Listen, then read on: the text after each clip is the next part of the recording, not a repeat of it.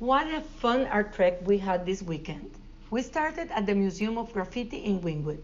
Carol Damian, Lilia Garcia, and me went to the opening of Gustavo Oviedo Symbiosis. The event was at 1.31 p.m., very peculiar timing. It's the artist's favorite number. The museum co-founders Alison Freidin and Alan Ket toured us around. I found this Basquiat pic that smiled at me. We asked for the recent Celia Cruz mural, and the directions were three murals down from Zak the Baker. Look, we were hungry and we jumped to the restaurant Vista for a beer pasta. I love that wishing tree. Back to the design district, we found exquisite artist Marina Font at Dina Mitrani's pop-up, and architect Rene Gonzalez at the spectacular Mindy Solomon space.